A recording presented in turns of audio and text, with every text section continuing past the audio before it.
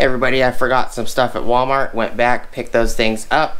A couple electronic items and uh, some automotive stuff. So please stick around, check out the video, and, I'll see you there. Thanks for watching.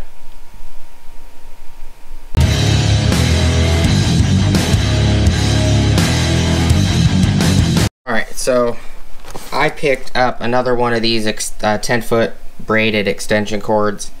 Um, it has a grounding prong as well.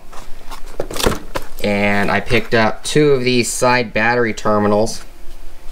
Um, I have a battery, a couple batteries in my shed that I got for free from my dad.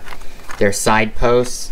I was just going to use them for, you know, things in the house or stuff like that. But I needed to pick up some terminals for it. Um, and these should work perfectly fine. So I got two of them. So I only got enough for a battery, but you know I can swap them to the other battery. And then I picked up um, in 4K Ultra High Def Avengers Endgame, the new Avengers movie. This one has the Cinematic Universe, uh, is the Cinematic Universe edition. But I picked that up for 29 bucks. This was 10. These were $1.97 a piece. And I also picked up some pepper and hangers and some other random stuff, but those don't need to be in the video. Thank you guys for watching. Please like, comment, subscribe. Hit the bell notification icon for future updates.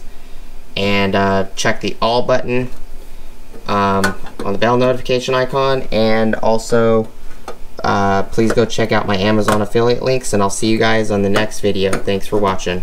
Peace.